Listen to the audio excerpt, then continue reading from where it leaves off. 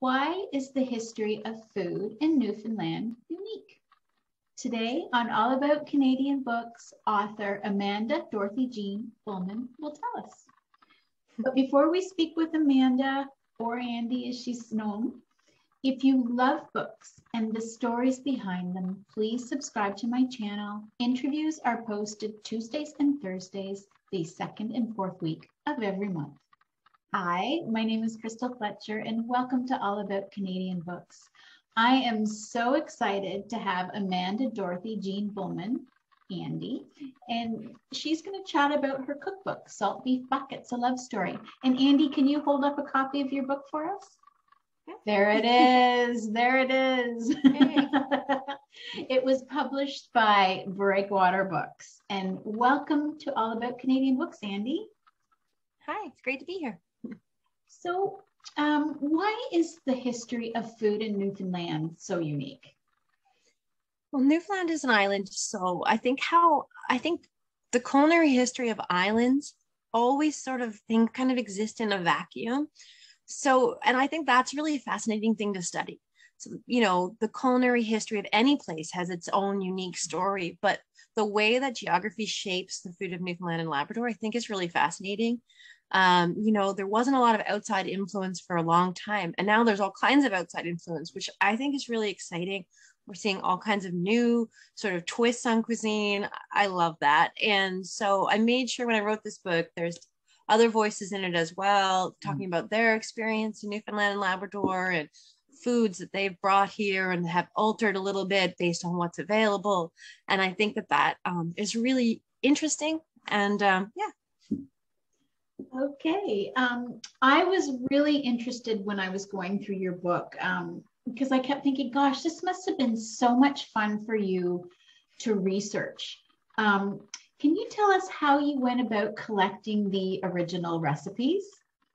Yeah, absolutely. I spent a lot of time in the library and the archives. Um, I got to know some of the librarians very well. um, I make sure to thank them in the book because, like, I don't think I could have done it without them. Um, I wrote part of this during the first wave of the pandemic. It was really challenging. You know, the libraries were closed, firsthand resources were closed. Um, and I've been collecting cookbooks and and firsthand sort of things for a long time. I had a lot of handwritten recipes. I had sort of done some research collecting these things, but when the pandemic hit, you know, I was really stuck with just what I had and. I was able to access online resources, but it's not the same as going into an archives and digging in. Um, so when everything opened back up, I was so happy. Um, and so the process for me was I sort of read widely. I read all kinds of books that like um, a fire fighting group in a, a tiny city or tiny town in the bays of Newfoundland would have produced. I found school, elementary school cookbooks that they produced. I found old diaries. I just read very widely. And then I made a list of recipes that I was like, okay, I feel like these recipes are quintessential Newfoundland recipes. And so I want to find old versions that I know work really well and then create new modernized versions. And then I had worked as a chef for a number of years and had given foraging tours. Um, so I had that knowledge uh, myself and I had other friends I could talk to and uh, seek out ideas from. And so I also wanted to throw in the foraging component. And then I wanted to talk about what I didn't know, which was stories from other cultures of people who moved here and stories of other people's experiences. So I there's a little bit of all of that in the book. And it took a long time. It took a really long time to write. oh, I believe it. And I actually I loved the stories. Like that's such a great part of your of your cookbook. And while you were researching, any surprises? Um, absolutely. Yeah, a couple big surprises. Um, I think one thing that really surprised me was um, dandelions were used so often. Um, dandelion roots were used for coffee. Dandelion mm-hmm. leaves were used for salads. The dandelion heads were pickled, dandelion wine was made. I mm-hmm. was really surprised to see so much dandelion stuff kind of pop up all the time. Another thing that really surprised me was that um, chanterelles, we have tons of wild edible mushrooms here in Newfoundland, and it didn't become we didn't people didn't know that um, for a long time. Um, we didn't know that until about the 90s when there was sort of a big migration of people here from other countries who were like, hey, these edible, these mushrooms are edible. And that's a really amazing thing. Like, if we hadn't had that immigration, um, that wave of newcomers, we would never have known that. So it's it really goes to show like how important um, having new people new people new ideas is because we would have missed out on like such a beautiful aspect now now mushroom season in Newfoundland is like a big thing. So that was another thing. Um, and I touch a little bit on craft history in Newfoundland and Labrador on rug hooking. Um, and I think what really surprised me is I hadn't known how craft history, like craft history and culinary history, so little bit is studied or written about because like so much of it was women's experiences or the experience of people in lower socioeconomic groups. Um, so i find that really interesting like how difficult it was to find like people talking about making rugs. You know i, I found that really interesting um, because it was a huge part of culture in the bays here and people didn't really you know so i, I like that quite a bit. I, I liked studying about craft history. It made me want to write a book about craft history actually. Yeah. Will that be next? I don't know maybe. I think what's next is actually a kids book. Okay. Yeah. Ooh. i'm gonna i'm hoping to write a kids book about science and recipes and um you know beekeeping and that kind of thing Oh, that'll be interesting. That'll be really interesting. Um, and when I was going through your cookbook, I, I really love how you've included the old recipes and with your your updated version with with a, a twist.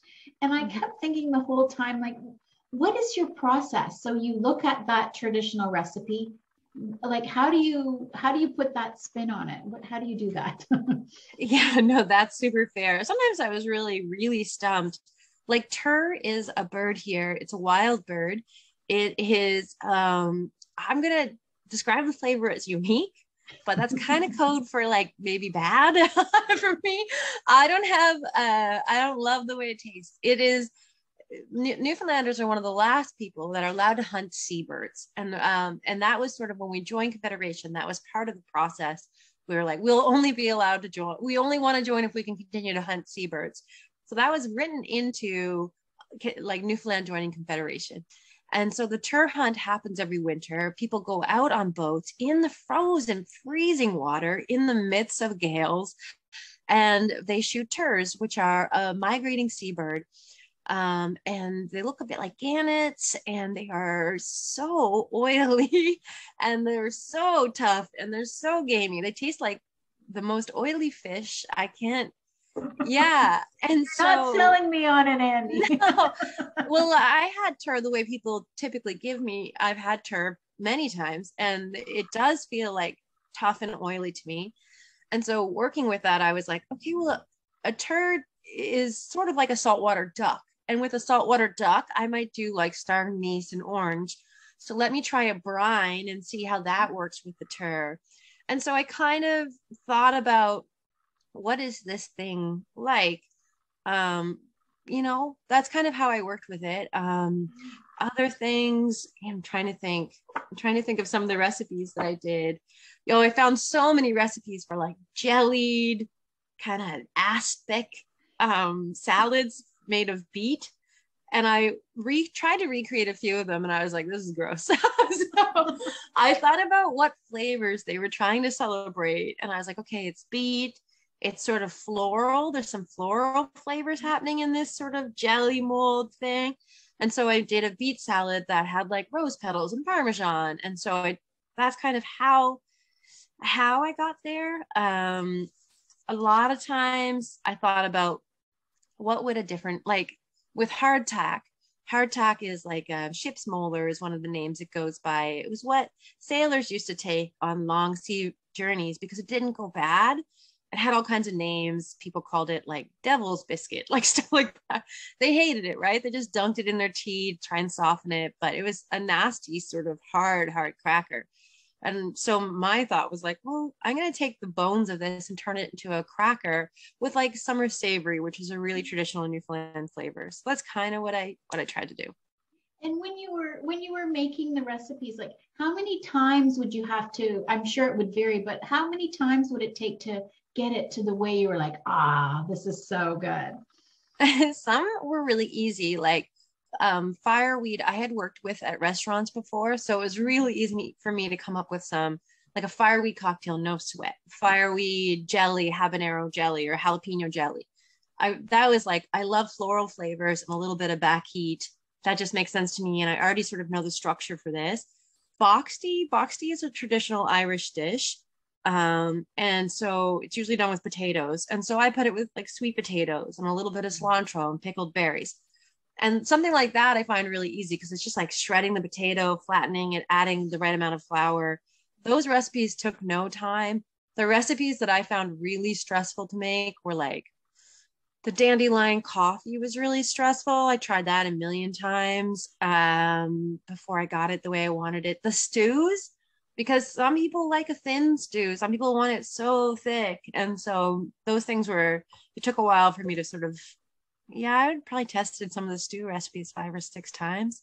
Yeah. That feels like a lot when, you know, because yeah. that's a lot of stew to eat. so, yeah. Your freezer must be full.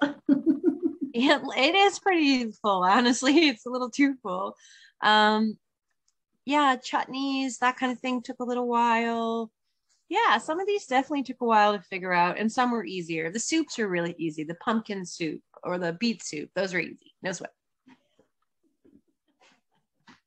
well andie Thank you so much for taking the time to be a guest today on All About Canadian Books. I so enjoyed talking to you and learning more about you and your recipes, and and I'm starved now. awesome. Well, good luck with it. I hope you try a few recipes. I'd love to know how they go. Yeah, definitely will. And for our viewers, I'll put links down below in the description box so that you can um, find Andie's cookbook and purchase it. So uh, you can try out her recipes as well. I know I'm going to be trying out a few of them. Um, yeah. Thank you, thank you, thank you. And thanks everyone for watching. Bye.